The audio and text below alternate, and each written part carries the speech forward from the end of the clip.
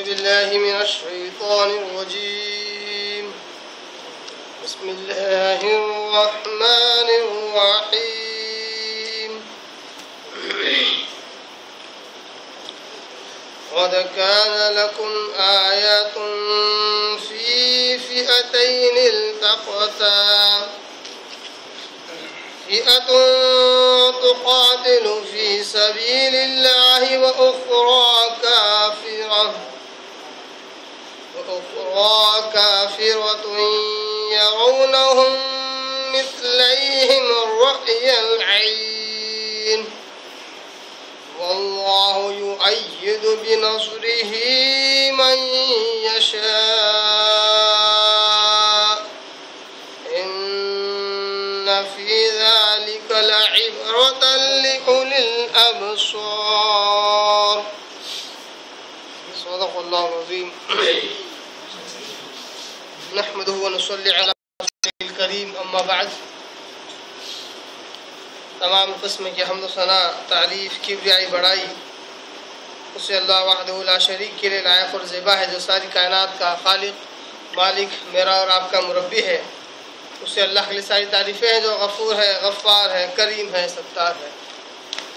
بعد اس کے آپ کے میرے آقا، دو جہاں کے سردار سردار الانبیاء پر کروڑا ہاں کروڑ انگنت بے شمار درد و سلام۔ صلی اللہ علی محمد و علیہ وسلم۔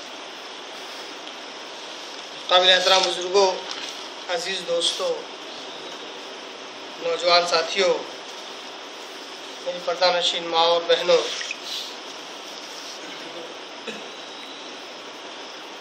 آج میں نے قرآن مجید کی ایک آیت کی میں نے تلاوت کی ہے اور یہ آیت ہمارے سلسلہ وار درس کی اگلی کڑی تیسرے پارہ، تیسرا پارہ۔ اس کا سورہ سورہ عال عمران، سورہ نمبر تین۔ اس کے رکو نمبر دو کی یہ آیت نمبر تیرہ ہے۔ اللہ تعالیٰ کہتا ہے قد كان لكم آية في فئتين التقطا قد قد کے معنی ویسے تو عربی گرامر کے حساب سے قریب کے معنی بھی ہوتے ہیں، لیکن قد زیادہ تر بے شک کے معنی میں آتا ہے۔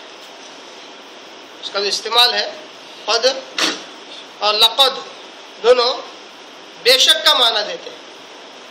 قد کان لکم اور بے شک تھا۔ لکم تم لوگوں کے لیے۔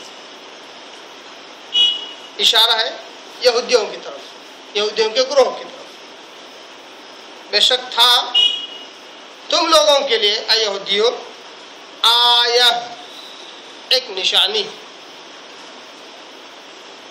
فی فی اتین۔ دو گروہوں میں بے شک تھا تم لوگوں کے لیے اے یہودیوں۔ ایک نشانی دو گروہوں میں فی اتین، فی کی جمع ہے۔ تسنیہ ہے۔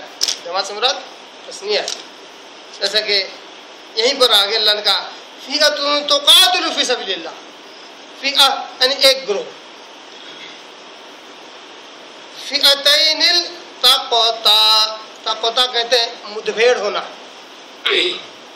گتھنا، ایک دوسرے سے ٹکر لینا، جنگ کے لیے، جہاد کے لیے، قتال کے لیے۔ اور کان لکم آیتم فی فئتین التقطا، بے شک تمہارے لیے ایک عبرت تھی، ایک نشانی تھی۔ دو گروہوں کا آپس میں ایک دوسرے سے گتھنا، ایک دوسرے سے قتال کرنا۔ فئتن تقاتل فی سبیل اللہ فئتن۔ ان دو میں سے ایک گروہ جو ہے تو قاتلو جو قتال کرتا تھا، لڑتا تھا، جہاد کرتا تھا، فی سبیل اللہ اللہ کی راہ میں۔ کون سا گروہ ہے؟ مسلمانوں کا گروہ۔ دو گروہ آپس میں قتال کرتے ہیں، اس میں سے ایک گروہ اللہ کی راہ میں لڑنے والا وہ اخرا اور دوسرا والا۔ اخرا یعنی دوسرا۔ عربی میں دو الفاظ ہیں۔ اردو میں لکھے جائیں۔ تو شاید ایک جیسے ہی پڑھے جائیں گے۔ مگر اگر عربی میں لکھے جائیں تو زیر و زبر کا فرق ہے، مگر معنی کے اعتبار سے بھی فرق آ جاتا ہے۔ جیسے ہے، آ خورا خواہ کے اوپر زبر ہے۔ دوسرا ہے، آ خیرا خواہ کے نیچے زیر ہے۔ آ خورا کہتے ہیں سیکنڈ ون یعنی دوسرا۔ سیکنڈ ون یعنی دوسرا۔ آخر کہتے ہیں لاسٹ ون جو آخری ہے۔ یہاں پر اخرا یعنی سیکنڈ ون سیکنڈ والا۔ وہ اخرا کافرا اچھا، جیسا اوپر آیا، فیعتن، ایک گروہ، تو قاتل سبیل اللہ اس کی صفت بتلائے گی کہ وہ اللہ کے راہ میں قتال کرتا ہے۔ وہ اخرا کافرا اور دوسرا والا، اس کی کیا صفت ہے؟ کافر ہے وہ۔ کافرہ۔ کفر کرنے والا کافر۔ یرونہم یرونہم۔ دیکھتے تھے وہ دونوں دونوں دیکھتے ہیں آپس میں۔ نہم، کا مطلب آپس میں ایک دوسرے سے۔ مثلیہم، اپنے جیسے۔ یعنی کہ دو گنا۔ یرونہم مثلیہم رؤی العین۔ اپنی آنکھوں سے دونوں گروہ آپس میں ایک دوسرے کو دگنا دیکھتے تھے۔ واللہ، اور اللہ یؤیدو مدد کرتا ہے، قوت دیتا ہے۔ ایدو یدن سے بنا ہوا ہاتھ ہے۔ جیسے ہم انگریزی میں استعمال کرتے ہیں ایک ہیلپنگ ہینڈ چاہیے۔ ہیلپنگ ہینڈ مطلب مدد کرنے والا۔ اسی سے یدن یعنی ہاتھ ایدو یعنی مدد کرنے والا ہاتھ، قوت۔ قوت دینے کو، پختگی دینے کو سپورٹ کرنے کو یو ایدو کہتے ہیں۔ واللہ یو ایدو اللہ تعالیٰ سپورٹ کرتا ہے، قوت دیتا ہے، پختگی دیتا ہے۔ بھی نصری ہی اپنی مدد سے۔ نصر ناصر مدد کرنے والا۔ میں یشا جس کو چاہے۔ سے مراد کیا ہے؟ دو گروہ تھے اللہ تبارک تعالیٰ کہ وہ دونوں گروہ اللہ ہی کی مخلوق ہے، اللہ ہی کے بندے ہیں۔ پھر بھی اللہ نے ان دو گروہ سے ایک گروہ ہی کی مدد کی۔ کیوں؟ اللہ اپنی مرضی کا مالک ہے۔ میں یشا اللہ جس کے لیے چاہتا ہے، اپنی مدد کرتا ہے۔ ان دو گروہوں کا آپس میں قتال کرنا، لڑنا۔ اور جو جہاد ان دونوں کے درمیان ہوا ان نفی ذالک بے شک اس میں لعبرہ ایک نصیحت عبرت ہم اردو میں استعمال کرتے ہیں۔ لعبرہ یعنی عبرت عبرت کے لیے۔ لِعُلِل ابسوار کن لوگوں کے لیے جو آنکھ رکھتے ہیں۔ ابسوار بصورت سے بنا ہوا، جو آنکھ رکھنے والے ہیں بصورت بصارت دیکھنے والے۔ لوگ عقل مند لوگ سمجھدار لوگوں کے لیے ان دو گروہوں کا آپس میں قتال کرنے کا جو واقعہ ہوا، اس میں بہت بڑی نشانی اور عبرت تھی۔ یہ آیت نمبر تیرہ کا لفظی ترجمہ تھا جو میں نے آپ کے آگے رکھا۔ جیسا کہ ہم نے آیت نمبر بارہ میں بھی کہا تھا کہ اللہ تبارک تعالیٰ نے یہودیوں سے کہا کہ اے یہودیوں، تم نے کفر اختیار کیا، تم کافر ہو۔ اور عنقریب تم مغلوب کیے جاؤ۔ کہاں پر خیبر میں، جاؤ، جو ان کا ان کا علاقہ تھا، جہاں پر ان کے قلعے تھے، وہیں پر وہ مغلوب کر دی گئے وہ تحشر الى جہنم اور جو یہودی اسلام کا روڑا بنے ہوئے تھے، اللہ کہتا ہے، وہ یہودی جہنم کی طرف ہانکے جائیں گے، جمع کیے جائیں گے۔ وہ بھی سلمیحاد اور وہ بڑا برا ٹھکانا ہے۔ اسی طرح اللہ تعالیٰ تیرہ میں بھی یہودیوں سے مخاطب ہو کر کہتا ہے کہ آئے یہودیوں تمہیں اپنے آپ پر بڑا غرہ ہے، بڑا گھمنڈ ہے۔ اگر تمہیں عقل ہوتی تو تم ان دو گروہوں کی طرف اگر نظر دوڑاتے، تو تمہیں سمجھ میں آتا کہ وہ جو دو گروہ تھے ان کا آپس میں لڑنا، قتال کرنا اور اس میں سے کمزور سے کمزور تر گروہ کا فتح و کام فتح و کامیابی سے ہم کران ہونا فتح و کامرانی ان کی ان کا ان کے قدم چومنا، یہ تمہاری عبرت کی دلیل ہے۔ اشارہ آیت نمبر تیرہ میں کس چیز کی طرف ہے؟ اشارہ ہے غزوہ بدر کی طرف۔ جو سن دو ہجری میں واقع ہوئی۔ ہجرت کے دوسرے سال۔ جب آپ وسلم مکہ میں چالیس سال نبیوی زندگی گزار کر۔ چالیس سال آپ وسلم جو ہے، وہاں رہے، مکہ میں، اس کے بعد جب مدینہ آئے، جب آپ وسلم جب ہجرت کی، مکہ آئے، تو مکہ میں آپ وسلم کو یہودیوں کے تین گروہوں سے پالا پڑا۔ تین قبیلوں سے پالا پڑا۔ تینوں قبیلے کسی نہ کسی اعتبار سے اسلام کی راہ میں روڈے اٹکاتے تھے۔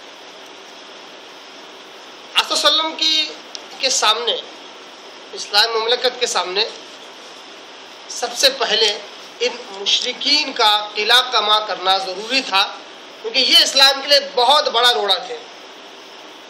کیونکہ ان مشرقین مکہ کا یہ دعویٰ تھا کہ جس طرح ہم نے مسلمانوں کو ظلم و ستم کر کے مکہ سے جلا وطن کیا اسی طرح چاہے دنیا کے کسی بھی کونے میں جائے، ہم انہیں وہاں پر بھی سکون سے رہنے نہیں دیں گے۔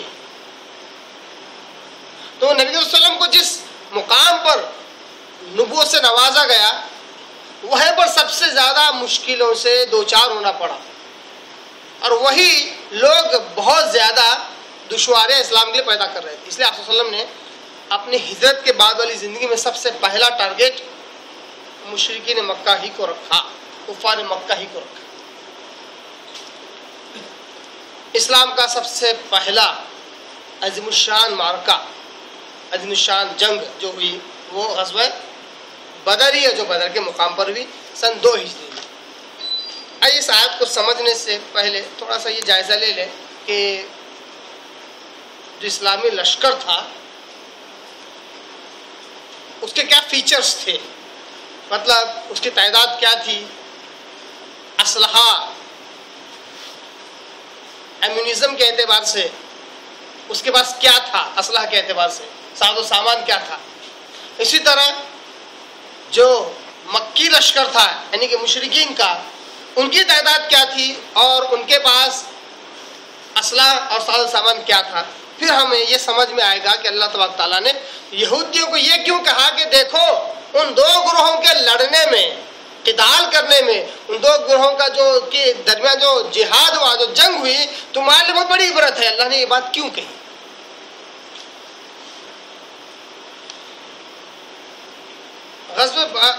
غزو بدر جو ہوا، اس کی ایک بڑی اہم وجہ یہ ہے کہ ایک قافلہ مکہ سے شام کی طرف روانہ ہوا، مشرقین کا۔ ابو سفیان اس کا سردار تھا، اس قافلے کا سربراہ تھا۔ وہ تجارتی اعتبار سے شام گئے تھے تاکہ خوب تجارت کرے اور مکہ والوں کا اس میں فائدہ ہو۔ تو اس اعتبار سے اس میں پیسہ، پانی، مال و دولت بہت زیادہ تھے، اونٹ بھی بہت زیادہ تھے۔ جب وسلم کو مدینہ میں یہ خبر لگی کہ مشرقین مکہ کا ایک قافلہ شام کی طرف روانہ ہوا ہے۔ تو آپ وسلم نے سوچا کہ اس کو درمیان میں ہی پکڑا جائے، کیونکہ بہت زیادہ مسلمانوں پر ظلم ہوا تھا۔ کسی طرح اس وقت مسلمانوں کو ایجاد مل گئی تھی۔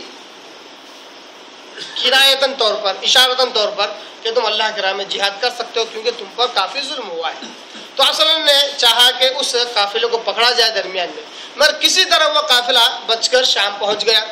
اب آپ وسلم نے دو صحابہ کو ایک جگہ متعین کیا اور کہا کہ دیکھو، وہ قافلہ اگر دوبارہ آ جائے تو ہمیں خبر دینا۔ جب وہ قافلہ شام سے واپس مکہ کی طرف جا رہا تھا، تو دو صحابہ نے جو ان کے اوپر نگاہ رکھے ہوئے تھے، ان کی جو جاسوسی کر رہے تھے، وہ فوراً مدینہ کی طرف دوڑے ہوئے آئے اور آپ صلی اللہ علیہ وسلم کو خبر دے دی۔ آپ صلی اللہ علیہ وسلم نے عام طور پر عوام اعلان کرا دیا کہ ہم جا رہے اس قافلے کو پکڑنے کے لیے، اس قافلے پر حملہ کرنے کے لیے۔ ایک عام اعلان کیا۔ اس لیے آپ صلی اللہ علیہ وسلم نے کوئی زور اور زبردستی نہیں کی، نہ ہی کوئی تاکید کی کہ تمہیں ہمارے ساتھ چلنا ہوگا۔ جو خوشی سے چلے چلے، جو نہ چلے، کوئی حرج نہیں۔ اس طرح کا حکم آپ صلی اللہ علیہ وسلم کا تھا۔ آپ صلی اللہ علیہ وسلم کا جیسا عام حکم تھا تو بہت سارے لوگ آپ صلی اللہ علیہ وسلم کے ساتھ نہیں آئے تو آپ صلی اللہ علیہ وسلم نے کوئی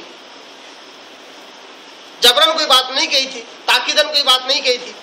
تو بہت کم صحابہ کرام آپ صلی اللہ علیہ وسلم کے ساتھ نکلے، جو تین سو سے کچھ زیادہ تھے۔ اور جنگ کی کوئی ایسی کوئی خاص تیاری نہیں تھی، صرف اس قافلے کو پکڑنا تھا۔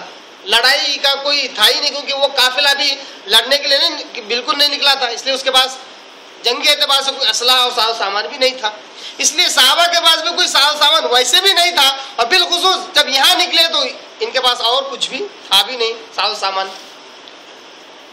اب یہ جب درمیان میں رکے، جب ابو سفیان کو معلوم ہوا کہ مدینہ کے لوگ ان پر چڑھائی کرنے والے ہیں یا راستے میں لوٹنے والے ہیں، تو وہ وہاں سے کسی طرح اس نے دوسری پلاننگ کر کے مکہ پہنچ گئے۔ ادھر مکہ والے ان کو معلوم ہوا مشرقین کو کہ ہمارے قافلے پر حملہ ہونے والا۔ مشرقین مکہ پہلے ہی سے غیر و غضب میں تھے کہ یہ مسلمان ہمارے پاس سے جانے کے بعد پھر ان کی دعوت تبلیغ جاری ہے اور ہمارے بتوں کو پھر سے برا بلا کہا جا رہا ہے۔ ان سے کیسے بدلا لیا جائے؟ ان کو اتنا غرہ تھا اپنی قوت و طاقت پر، اپنے مال و دولت پر کہ ایک بہت بڑی مدینہ کی طرف نکلے۔ مسلمان کتنے نکلے تھے؟ تین سو سے کچھ زیادہ۔ تین سو تیرہ، تین سو پندرہ، تین سو سولہ، وغیرہ آتا ہے۔ تین سو تیرہ کوئی حرج نہیں ہے۔ کیونکہ عام طور پر زبان سے عام تین سو تیرہ نمبر یاد ہے۔ اور یہ تین سو تیرہ، ان کے ساتھ دو گھوڑے تھے۔ کتنے گھوڑے تھے؟ دو گھوڑے۔ اور کچھ ستر اونٹ تھے ان کے ساتھ۔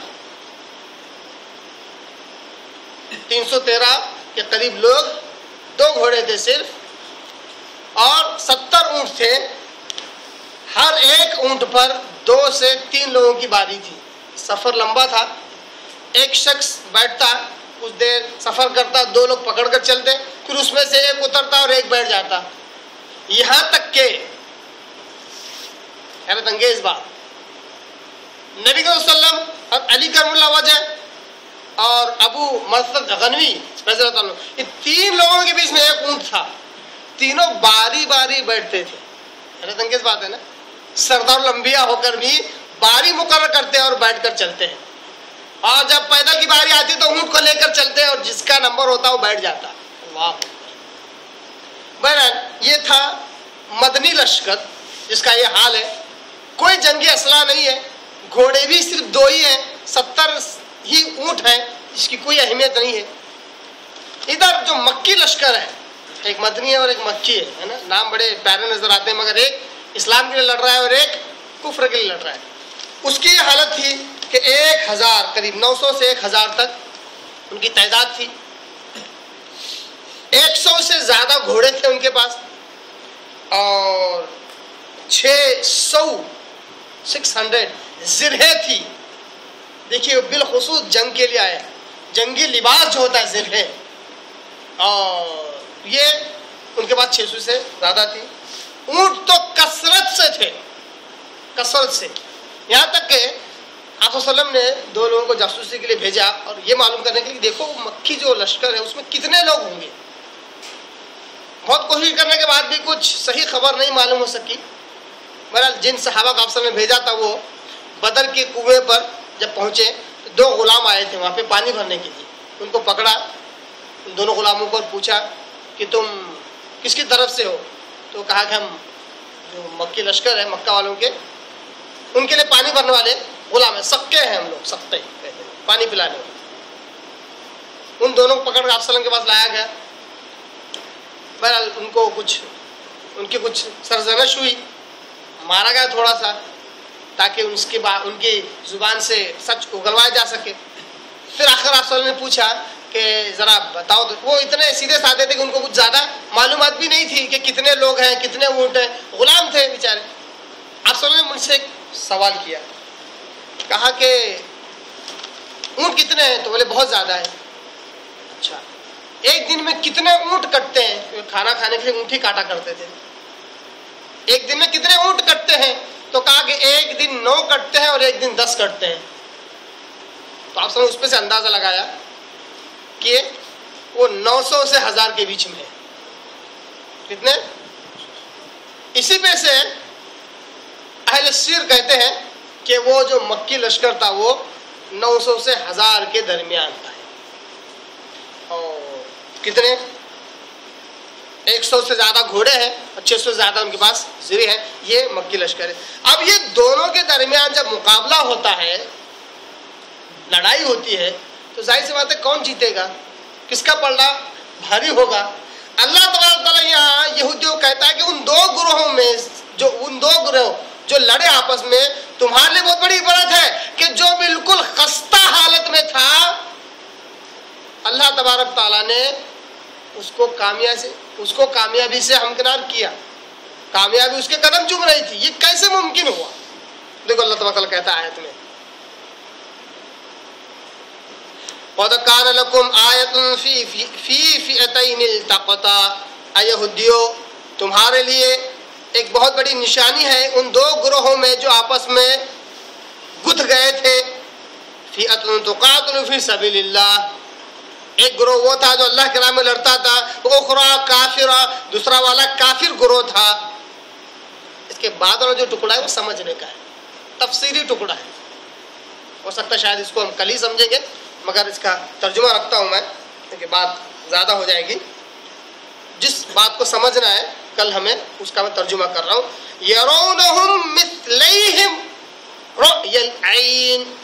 اللہ کہتا ہے دونوں گروہ یعنی ایک مسلمانوں کا گروہ مدنی لشکر، دوسرا کافر و مشرقوں کا گروہ جو کہ مکی لشکر ہے۔ یہ دونوں گروہ آپس میں ایک دوسرے کو دگنا دیکھتے تھے۔ مشرقین اور کفار جب مدنی لشکر کو دیکھتے مسلمانوں کو، تو ہمیں ایسا لگتا ہے کہ دو ہزار لوگ سامنے کھڑے ہیں۔ کیونکہ یہ ایک ہزار تھے۔ دو ہزار لوگ سامنے کھڑے ہیں اور مقابلے کے لیے تیار ہیں۔ اور مسلمان جب دیکھتے تو کچھ چھ سو کے قریب انہیں مشرق نظر آتے تھے، جبکہ تھے کتنے؟ صرف ہزار۔ اللہ یہ اللہ یہاں پر یہ بات کہہ رہا ہے۔ ایک اور آیت ہے۔ آپ تھوڑا سا پزل دے کر چھوڑ دیتا ہوں، انشاءاللہ کل اس کو ہم کنٹینیو کریں گے۔ اللہ تبارک ایک اور جگہ پر سورہ انفال سورہ نمبر آٹھ آیت نمبر چوالیس میں کہتا ہے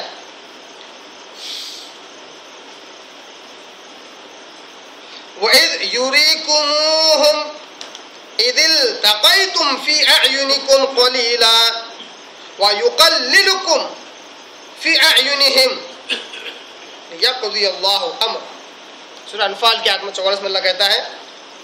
ہے اور وَإِذْ يُرِيكُمُوهُمْ اور اے ایمان والوں اے مسلمانوں، تم انہیں دیکھتے تھے۔ جب تم ان سے ملے، جب میدان جنگ میں جب تم اترے، تو تمہاری آنکھوں میں اللہ تبارک تعالیٰ نے ان کو بہت کم کر کے دکھایا۔ اور آگے کہتا ہے، وَيُقَلِّلُكُمْ فِي عَيُنِهِمْ۔ اور تم کو بھی اللہ تبارک تعالیٰ نے ان کی نگاہ میں کم کر کے دکھایا۔ یہ بھی قرآن کیا ہے؟ بات سمجھ میں آئی کہ نہیں ہے یہاں کیا کر اللہ تعالیٰ؟ دونوں ایک دوسرے کو دگنا دیکھ رہے تھے۔ جس کا میں نے مفہوم کیا بتلایا؟ مسلمانوں کو وہ چھ سو کے قریب دکھائی دے رہے تھے۔